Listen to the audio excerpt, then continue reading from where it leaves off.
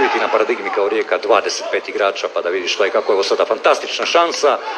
U 15. minuta i vrhunska reakcija, sjajna reakcija Patrika Mohorovića, zabilježit ćemo ovo kao prvu pravu prigodu koju smo vidjeli na utakmici.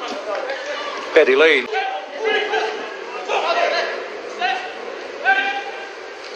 Sean Rooney je probio stranu, opasno je, kako je bio ziceran, ono ako baš 101% refleksno je vratarski obranio Patrik Mohorović i svaka mu čast na tome.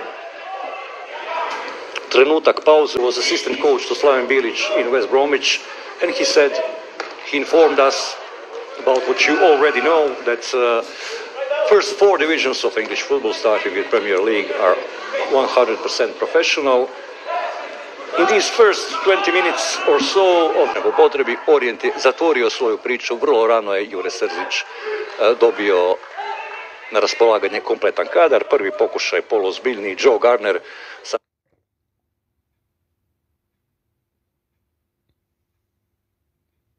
koji slotno zna sve.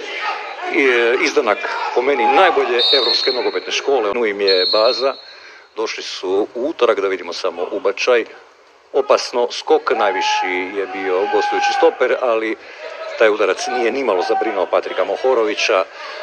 mislim da je pucao upravo Runi koji ni staturom ni nogometnim znanjem i sa nervozom u slačionici i sa određenom disharmonijom uprave i trenera sa momčadi, tako da se ne sjećam baš kad su nakon 66. Englezi igrali u finalu svjetskog prvenstva. Mi jesmo prije četiri godine mi smo osvojili treće mjesto, mislim da su Englezi od osvajanja te svoje prve jedine titule 66. također samo jednom bili u za bodove.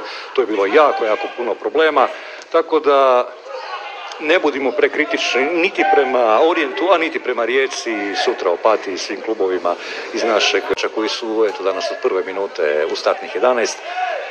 Normalno, prva prijateljska utakmica još se traži taj početni sastav koji bi se trebao standardizirati koliko toliko pred nastavak eh, imena. A baš iz ovog kluba, baš iz Fleetwood Towna je u Leicester, a onda je u povijest eh, otišao Jamie Vardy. Mm, nekoliko puta najbolji strelac premijershipa, onaj senzacionalni projekt Engleske sa Leicesterom kada su pod vodstvom eh, Claudia Ranierija osvojili naslov prvaka Engleske.